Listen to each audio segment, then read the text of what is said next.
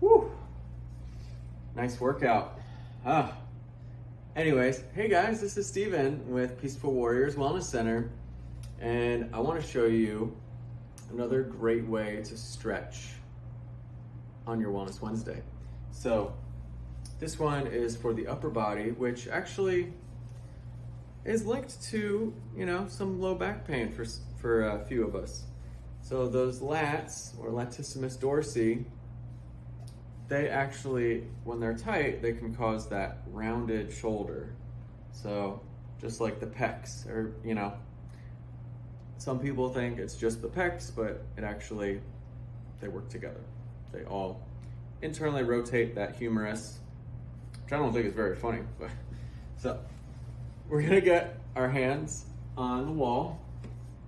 I like to use a towel, so it's more comfortable, and washcloth, whatever. So you just, again, make sure you're cleared, that you're safe to exercise. Everybody should know this, but I like to say it to be safe.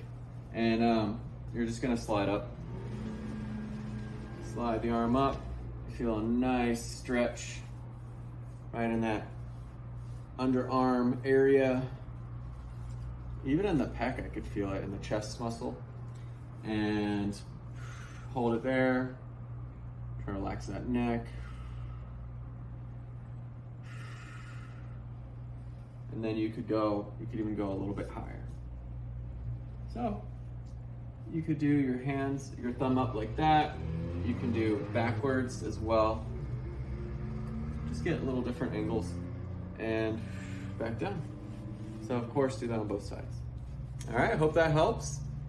Please share with friends and family as we're growing and expanding this beautiful freedom of movement so you could feel better, move better, feel better, and be better. Thanks a lot. Talk to you soon.